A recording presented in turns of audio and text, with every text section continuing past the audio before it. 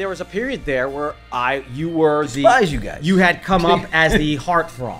Right, right, right, right. You were the the, uh, the t- very recognizable TV, this and that, and Who, me? They wanted That's weird. the powers that be, you know, people who ran networks or television. Powers they- that be, they- mom. They, wanted to s- our mother. They wanted to slide me into that same Right.